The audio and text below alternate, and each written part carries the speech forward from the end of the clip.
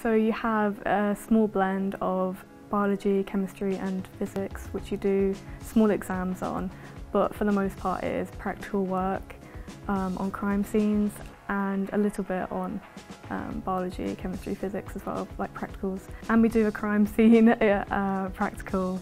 Um, we have a crime scene in the school and you evaluate it and you gather evidence. The overall course is really, really interesting with the forensics part of it. Um, you learn about different types of evidence found in crime scenes and very, it's just very, very interesting and especially if you want to do a career path in criminology or forensics. Yeah.